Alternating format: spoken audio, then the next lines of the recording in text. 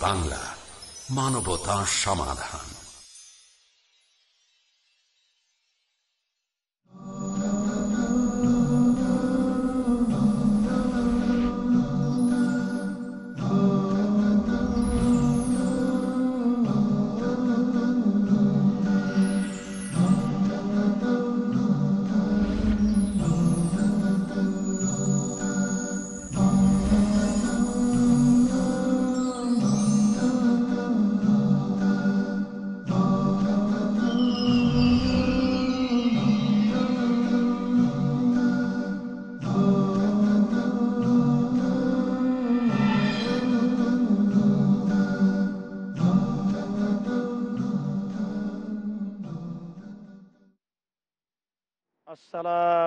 আলাইকুম রহমতুল্লাহ।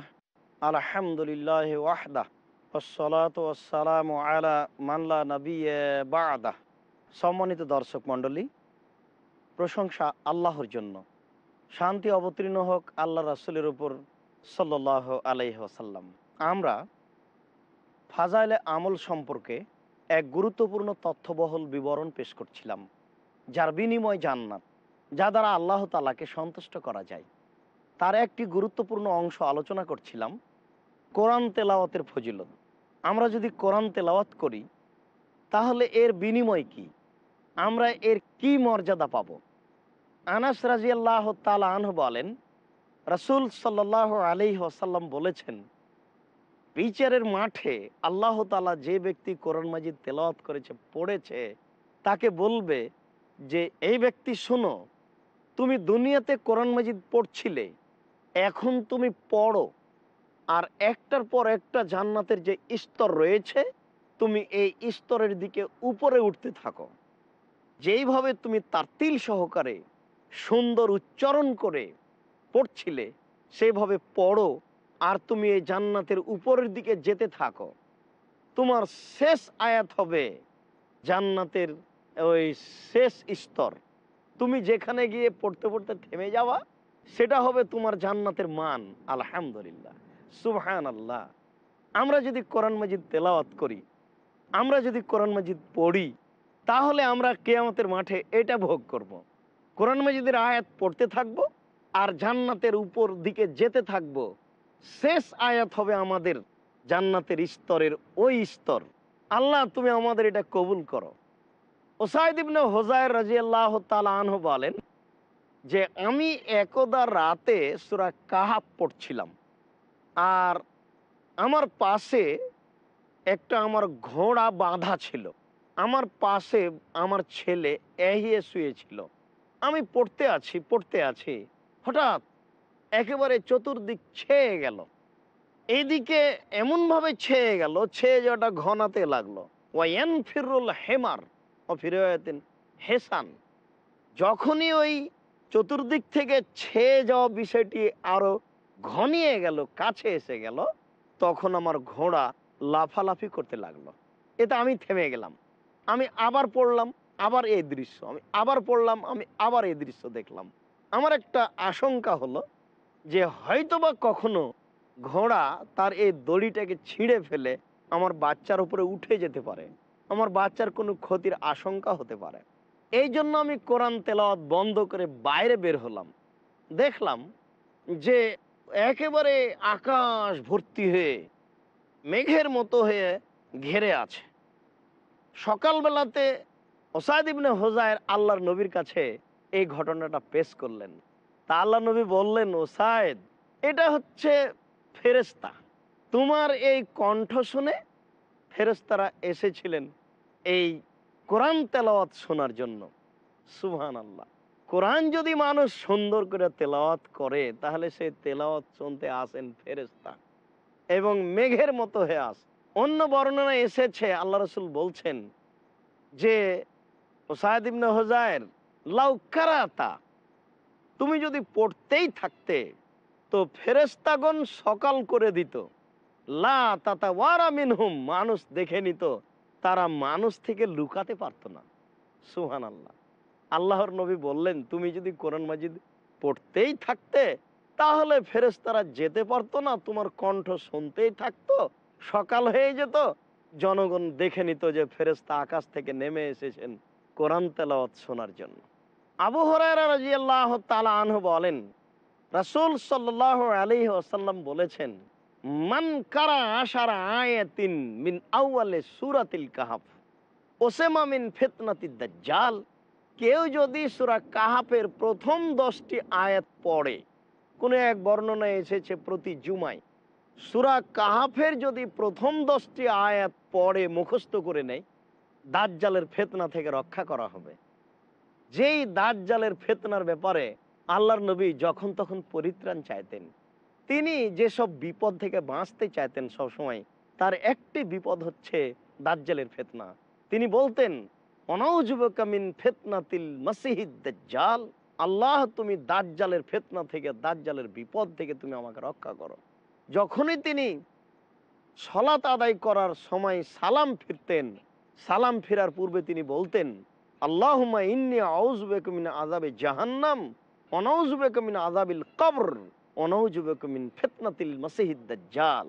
আল্লাহ আমাকে কবরের শাস্তি থেকে বাঁচাও, আমাকে জাহান্নামের শাস্তি থেকে বাঁচাও, আর তুমি আমাকে দাজ্জালের ফেতনা থেকে, দাজ্জালের বিপদ থেকে বাঁচাও। আল্লাহর নবী বলেন, যেই ব্যক্তি সূরা কাহাফের প্রথম দশ আয়াত পড়বে, সেই ব্যক্তি দাজ্জালের ফেতনা থেকে বেঁচে যাবে। আনাস রাজি আল্লাহ তালাহ বলেন, আল্লাহর নবী বলেছেন যেই ব্যক্তি সুরা কাহাফের প্রথম তিনটি আয়াত পড়বে, নিয়মিত পড়বে, আল্লাহ তালা তাকে দাজ্জালের ফেতনা থেকে রক্ষা করবেন।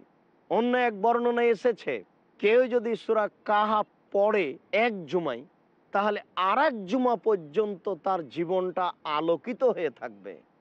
আরেক জুমা পর্যন্ত সে একটা কল্যাণের মধ্যে থাকবে।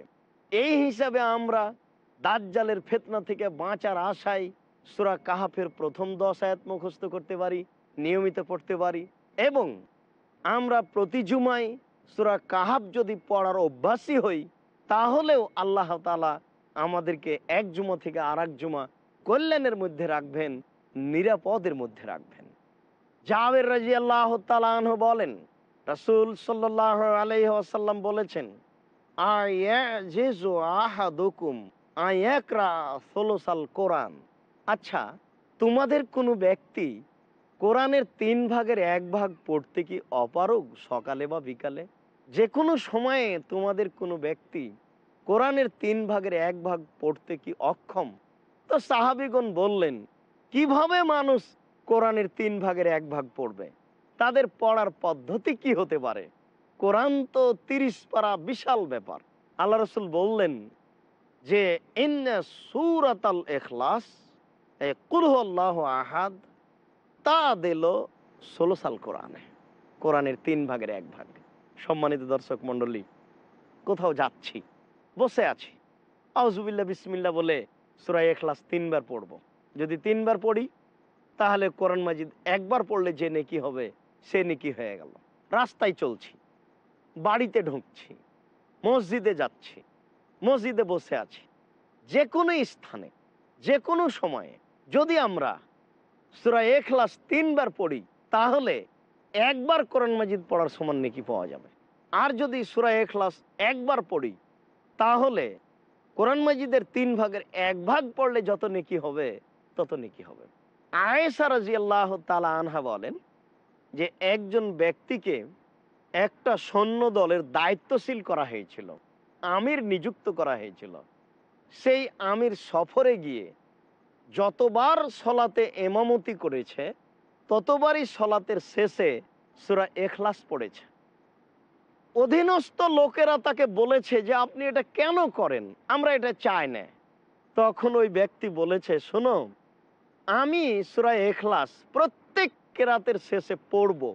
যদি তোমরা আমাকে আমির হিসাবে গ্রহণ করো করো, নইলে তোমরা আমাকে ত্যাগ করতে পারো। তার মনোবল দেখুন। তারা যখন সফর থেকে ফিরে আসলো, বোখারি মুসলিমের হাদিস, তো তারা রাসুলের কাছে একটা অভিযোগ পেশ করল, আল্লাহ রাসুল, আপনি আমাদেরকে যাকে আমির হিসেবে নির্বাচন করে দিয়েছেন, আমাদের ব্যাপারে যাকে আপনি আমির নিয়োগ করেছেন, সেই ব্যক্তি দেখি যখনই কেরাত শেষ করে, তখনই সুরা এখলাস পড়ে। যখনই কেরাত শেষ করে, তখনই সুরা এখলাস পড়ে। তো এটা কেমন কথা হলো? আল্লাহর নবী বললেন, ঠিক আছে, তোমরা ওই ব্যক্তিকে জিজ্ঞাসা করো যে কেন সে এই সুরা পড়ে। কেরাত শেষে তখন তারা বলল, আপনি এটা কেন পড়েন? সেই ব্যক্তি উত্তরে বলল যে, সুরা এখলাসে রহমানের গুণ রয়েছে। সুরা এখলাসে আল্লাহর পরিচয় রয়েছে আর আমি এটা ভালোবাসি। আল্লাহ রসুল বললেন, ঠিক আছে আহ বেরু হো। তোমরা তাকে বলে দাও যে, ইন্নার রহমানেই বহু যেহেতু সে সুরা এখলাসকে ভালোবাসে কাজে রহমান তাকে ভালোবাসে। সম্মানিত দর্শক মণ্ডলী, আমরা যদি সুরা এখলাস পড়ি, আল্লাহর ভালোবাসার উদ্দেশ্যে, তাহলে সুরা এখলাস পড়েই আল্লাহর ভালোবাসা আমরা পেয়ে যাব। একজন সাহাবি বললেন যে, আমি সুরা এখলাস পড়া ভালোবাসি। আল্লাহ রসুল বললেন যে, ইন্নে হুব্বাকা আধখালাকাল জান্না নিশ্চয়ই তুমি যে সুরা এখলাস পড়তে ভালোবাসো, এর বিনিময়ে আল্লাহ তালা তোমাকে জান্নাতে দিয়ে দিবেন। তুমি সুরা এখলাসের বিনিময়ে জান্নাতে চলে যাবে। সম্মানিত দর্শক মণ্ডলী, আমরা সুরা এখলাসকে অনেক সময় ভুল সংশোধন হিসাবে ব্যবহার করে থাকি। দেখা যায় যে কারও কেরাতে ভুল হয়ে গেছে, তখন সে কেরাত শেষে সুরা এখলাস পড়ে, অথচ তা ঠিক নয়। সুরার শেষে, সুরা এখলাস পড়ে কেরাত সংশোধন করতে হবে, এ কথা আল্লাহর নবী বলেননি। যদি ভুল হয়ে যায়, তাহলে আপনি অন্যত্রে চলে যান, অথবা সেটা নিজে আবার চেষ্টা করে পড়ার চেষ্টা করুন না হলে রুকুতে চলে যান। সম্মানিত দর্শক মণ্ডলী, আমরা কিছু সময়ের জন্য বিরতিতে যাচ্ছি। ইনশাল্লাহ আপনারা আমাদের সাথেই থাকবেন। বিরতির পরেই আপনাদের সামনে আমরা এই গুরুত্বপূর্ণ তথ্যবহল বিবরণের চেষ্টা করব। আসসালামু আলাইকুম রহমতুল্লাহ।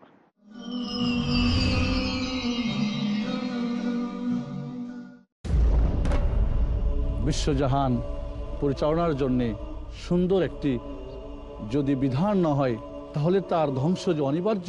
শেখ সাইফুদ্দিন বিলাল মাদানী। তাই আসুন সুনার আলোকে জীবন গড়ার জন্যে পৃথিবী বাংলায় আপনাদের জন্য নির্বাচিত কিতাব বুলুগুল মারাম মিন আদিল্লাতিল আহকাম। এর মাধ্যমে দার্সে হাদিসের সুব্যবস্থা করা হয়েছে। আপনাদের সকলকে শোনার এবং জানার জন্যে সাদর আমন্ত্রণ জানাচ্ছি। দেখুন, বলুগুল মারামের দার্সে হাদিস শুধুমাত্র পিস টিভি বাংলায়। বুলুগুল মারা প্রতি রবিবার, মঙ্গলবার ও বৃহস্পতিবার সন্ধ্যা ছটায় আপ পুনঃ সম্প্রচার দুপুর দেড়টায় বাংলাদেশে পিস টিভি বাংলায়। এমন ঘটনা যার মধ্যে নিহিত আছে আল্লাহর নির্দেশ। কোরআনের ঘটনা যে ঘটনা অত্যন্ত শিক্ষণীয়। ইমানকে শুদ্ধ করার জন্য তৌহিদকে প্রতিষ্ঠা করার জন্য শিরককে উচ্ছেদ করার জন্য। দাউদ আলাহিসাল্লামকে রাজত্ব দিলেন জ্ঞান দিলেন তাকে মনোনীত করলেন। তোমরা ইমান আনো যেমন তারাই মেনে নিয়েছিল। কোরআন সন্না যখন যেটা বলল সেটা মেনে নেওয়া। আল্লাহর উদ্দেশ্য আল্লাহর হুকুম মানো হুকুম মানো হাসান জামিল মুখলিসুর রহমান মাদানী আহমদুল্লাহ বিন মোহাম্মদ দিলাবর হুসেন মুফতি কাজী মোহাম্মদ ইব্রাহিম হারুন হুসেনের উপস্থাপনায় বনি ইসরাইল তারা আল্লাহকে সচক্ষে দেখতে চেয়েছে আল্লাহর ব্যাপারে তাদের আইডিয়াটা ঠিক ছিল আল্লাহর ফয়সালাকে নিতে হবে এটাই হচ্ছে মুমিনের মুমিনের কীভাবে মমিন আল্লাহর দয়া অর্জন করেন বোঝার জন্য দেখুন গুরুত্বপূর্ণ অনুষ্ঠান কোরআনের কাহিনী। পরবর্তী অনুষ্ঠান পিস টিভি বাংলায়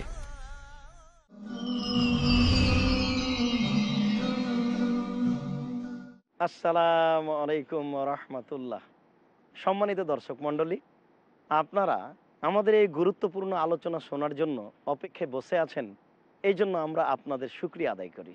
আল্লাহ আপনাদের যাজায় খায়ের দান করুক। ইবনা আব্বাস রাজি আল্লাহ তালাহ বলেন, একদা জিব্রাইল আলাহিসাল্লাম রাসুল সাল্লাহ সাল্লামের পাশে বসেছিলেন। হঠাৎ একটি শব্দ তিনি আকাশ থেকে শুনতে পেলেন। ফারা ফারা আসাহু, তিনি তার মাথাকে উপর দিকে করলেন। উপর দিকে করে বললেন, হাদা বাবুন ফতেহা, লাম ইউফতা মিন কাবুল আলী ইল্লাম এ একটি দরজা যে দরজাটা আজকে খোলা হয়েছে। ওয়া নাজালা মালাকুন, সেই দরজা দিয়ে একজন ফেরেস্তা অবতরণ হলেন। লাম এনজেল মিন কাবুল কাত্ত ইল্লাম এই ফেরেস্তা আজকের পূর্বে তিনি আর কোনোদিন এই পৃথিবীতে অবতরণ হননি। তারপরে তিনি রাসূলকে সালাম দিলেন। সালাম দিয়ে বললেন যে, আবশের বি নুরায়ন আল্লাহর নবী, আপনি দুইটি আলোর সুসংবাদ গ্রহণ করুন। আপনি দুইটি আলোর সুসংবাদ গ্রহণ করুন। লাম মিন কাবুল নবিয়েন আপনার পূর্বে এই দুইটি আলো কোনো নবীকে দেওয়া হয়নি। তার একটি হচ্ছে সুরাতুল ফাতেহা। ও আয়া তাইনে মিন আখেরে সুরাতিল বাকারা। সুরা ফাতেহা এবং সুরা বাকারার শেষ দুইটি আয়াত। সুরা ফাতেহা অনেক গুণ সম্পূর্ণ একটি সুরা। আর সুরা বাকারার শেষ দুইটি আয়াত মানুষের জন্য অনেক কল্যাণকর দুটি আয়াত। মানুষ এই দুটি আয়াত পড়ে যে কোনো কল্যাণ গ্রহণ করতে পারে। দুটি আয়াত পড়ে শয়তানকে ঠেকাতে পারে। দুটি আয়াত পড়ে রাতে ঘুমিয়ে গেলে সারা রাত নিরাপদে থাকতে পারে। আবু হরাইরা রাজি আল্লাহ তালাহ বলেন, রাসূল সাল্লাহ আলহি ওসাল্লাম বলেছেন যে যেই ব্যক্তি রাতে আয়াতুল কুরসি পড়বে। লা এজালো সর্বদা একজন ফেরেস্তা তার উপরে রক্ষক হিসাবে থাকবেন। অলা একরব শয়তান শয়তান তার নিকটে হতে পারবে না। অবশ্য আমরা বোখারি মুসলিমের হাদিস হিসেবে এই বিবরণটা এইভাবে পেশ করতে পারি, যেভাবে এসেছে যে আবহরার রাজি আল্লাহ তালা আনহ একদা ওই রামাজানের মাসের জাকাত যা বের হয়েছে ফেতরা, সেইগুলির তিনি পাহারা দিচ্ছিলেন। রাতে ঘুমিয়ে আছেন, একজন চোর এসে সেই সম্পদগুলিকে ব্যাগে উঠাচ্ছে। আবহরের ধরে নিলেন, ধরে নিয়ে তাকে রাসুলের কাছে নিয়ে যাবেন। তো সে অনুনয় বিনয় করে বলল, যে আমার ছেলে মেয়ে আছে, দরিদ্র মানুষ আমি, আপনি আমাকে ধরে নিয়ে যায় না, ছেড়ে দেন। তা আবু হরেরা রাজি আল্লাহ তালানো একটু দয়া করে নরম মানুষ ছেড়ে দিয়েছে। সকালে আল্লাহ রাসুলের সাথে সাক্ষাৎ। আল্লাহ রসুল বলছেন, কি খবর আবু হরাইরা চোরের সাথে কিরূপ আচরণ করেছ? এটা তো আবু কাছে অবাক। আবু হরাইরা না পৌঁছার আগেই তিনি জেনে নিয়েছেন, আল্লাহ তাকে জানিয়ে দিয়েছেন। আবু রাজি আল্লাহ বলছেন, আল্লাহর নবী, সে আমার কাছে তার ছেলেমেয়ের দারিদ্রতার কথা পেশ করেছে। এই জন্য আমি তাকে ছেড়ে দিয়েছি। আল্লাহর নবী বললেন, ঠিক আছে আবু হরেরা ও আবার আসবে। আবু হরেরা যেটা বিশ্বাস করে নিলেন যে আসবে নিশ্চিত, কেননা আল্লাহর নবী বলেছে পরের দিন তিনি ঘুমিয়ে আছেন, দেখছেন আবার সে চলে এসেছে। আবার ওই জিনিস ব্যাগে ভর্তি শুরু করেছে। তাকে ধরে নিয়েছেন। ধরে নিয়ে এখন রাসুলের কাছে নিয়ে যাবেন। সে আবার বলল, আমি গরিব মানুষ, আমার ছেলে মেয়ে আছে, দয়া করে আপনি আমাকে ছেড়ে দেন। তা আবু হরেরা রাজিয়াল্লাহ নরম মানুষ তাকে ছেড়ে দিয়েছেন। সকালে আবু হরেরা রাসুলের সাথে সাক্ষাৎ করতে আল্লাহ রসুল বলছেন, আবু হরেরা তুমি তোমার ওই চোরের সাথে কিরূপ আচরণ করেছ? আল্লাহ রসুল আমার কাছে গরিব মানুষ হিসেবে অনুনয় বিনয় করেছে, আমি তাকে ছেড়ে দিয়েছি। আল্লাহ রসুল বললেন, দেখো, সে আবার আসবে। সে মিথ্যা বলেছে। আবু হরেরা রাজি আল্লাহ বিশ্বাস করলেন, নিশ্চিত ও আসবে।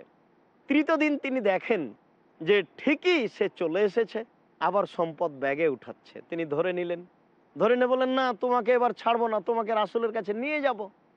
তখন সে ব্যক্তি বলল, যে আপনি আমাকে ছেড়ে দেন, আর আমি এখানে আসব না। আর আপনাকে আমি একটা কথা শিখিয়ে দিই। আপনি যদি এটা বলেন, তাহলে শয়তান আপনার পাশে আসবে না। তো এই শয়তান আয়াতুল কুরসি আবু হরেরাকে শিখিয়ে দিল। শয়তান বিদ্যে রাখে। সকালে আবু হরেরা রাজি আল্লাহ রাসুলের কাছে গেলেন। আল্লাহ রাসুল বলেন, কি খবর? তুমি তোমার বন্দির সাথে কিরূপ আচরণ করেছ? আবু হরেরা বললেন, আল্লাহর নবী, ও তো এসে ব্যাগে মাল উঠাচ্ছে, আমি তাকে ধরে নিলাম। তখন সে বলল, যে আমি অদা করছি আর আসব না, আর আমি একটা কথা বলছি, তুমি এটা মুখস্থ করো, তুমি এটা বলিও সর সময়তে তাহলে শয়তান তোমার কাছে আসবে না। তা আল্লাহ রসুল বললেন শোনো ও যা বলেছে, ঠিক বলেছে তবে ও হলো মিথ্যুক। তুমি কি জানো তিন দিন যাবৎ তোমার কাছে কে আসছে? আবু হরাইরাল্লাহ বললেন আল্লাহ রসুল, আমি তো তা জানি না, সে যে কে? আল্লাহ রসুল বললেন, সে হলো শয়তান শিবলিস তোমার কাছে তিন দিন যাবৎ আসলো। সে মিথ্যুক, তবে যা বলেছে তা ঠিক বলেছে। হাদিস বুখারি, মুসলিমে।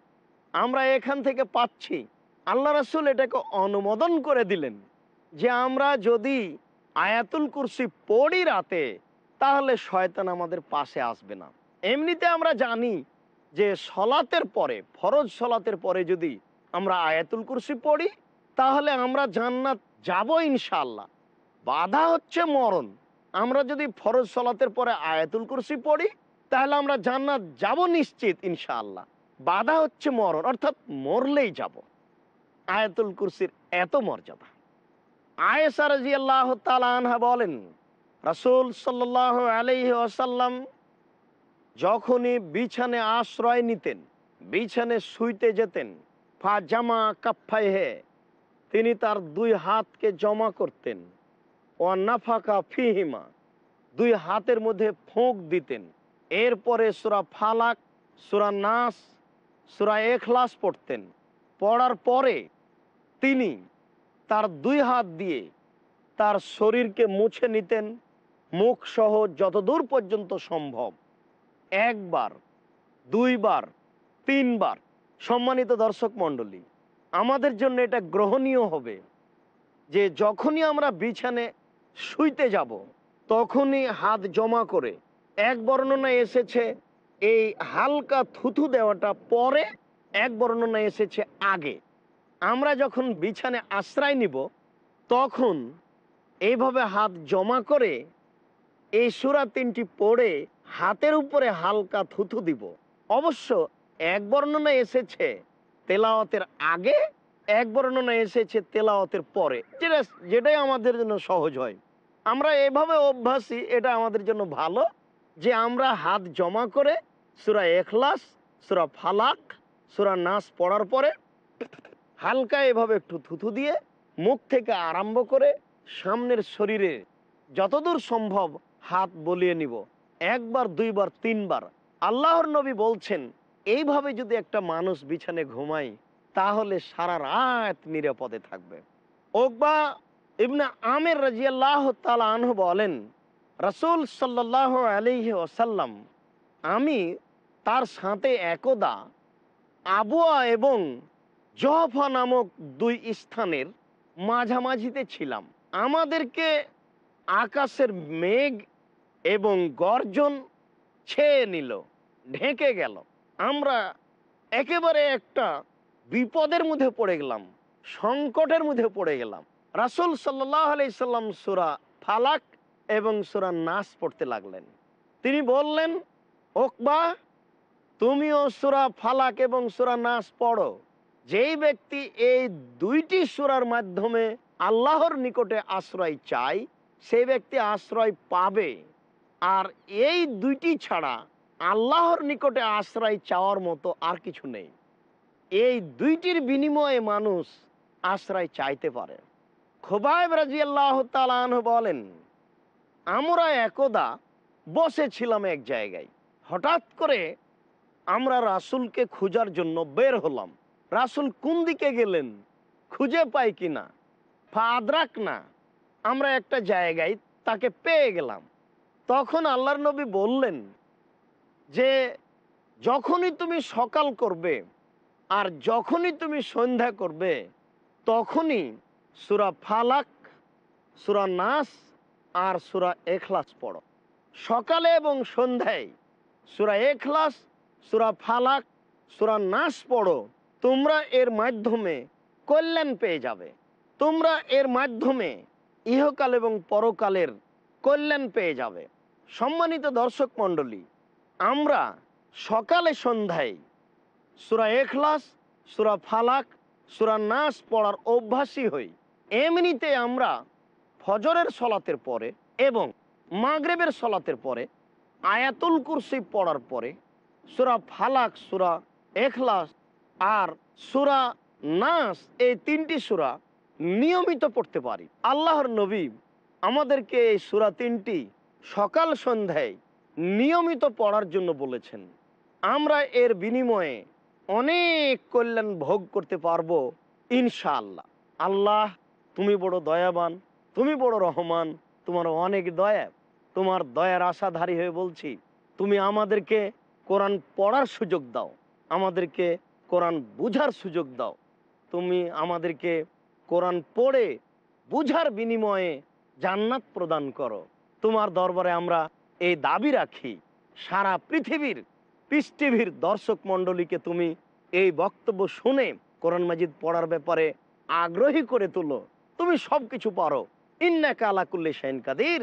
তুমি হচ্ছে সর্বশক্তিমান।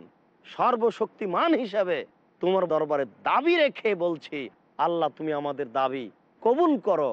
আমরা অন্তর থেকে বলছি, আমাদের ভুল ত্রুটি মাফ করো। আমাদের যারা মারা গেছে, তাদের কবরের শাস্তি মাফ করো। যারা আমরা অসুস্থ, তুমি আরোগ্য দান করো। যারা আমরা বেঁচে আছি, তুমি তাদেরকে কোরআন তেলাওয়াতের তৌফিক দান করো। তোমার রাসুলের পদ্ধতি অনুযায়ী চলার তৌফিক দান করো। এ দাবি, এ দাওয়া, এই দোয়া তোমার দরবারে রেখে আজকের সংক্ষিপ্ত আলোচনা এখানেই শেষ করছি। সুবানাক আল্লাহ হামদেকা আশহাদুল্লাহ ইলাহা ইল্লা আন্তা আস্তাক ফেরে কতুবিলাইক আসসালামু আলাইকুম আ রহমতুল্লাহ।